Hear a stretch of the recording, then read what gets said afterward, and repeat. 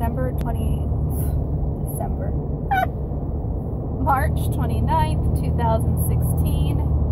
I am on my way to my therapy appointment. I just need a quick quick rehearsal, if you will, of what I'm going to talk about because I feel like I need to make the most of my time. Um, there's only 40 or 45 minutes that she gives me to speak. And when she speaks, she speaks so slowly. Okay?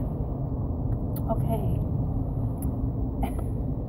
it just drives me bonkers. So I want to speak to her as much as my money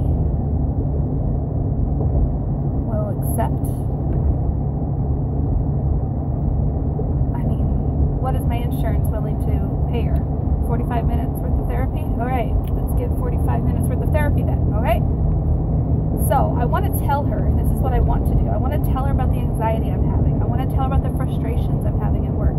I want to tell her about my my nervousness about my husband and losing losing his severance and now he's having to supply money but he's not really doing much and it's kind of freaking me out a little and I also want to tell her that I'm doing great because I was doing great last week and the week before it felt like. But I don't feel like I'm doing so great so I feel like by telling her I'm doing great it's kind of lying. And I also feel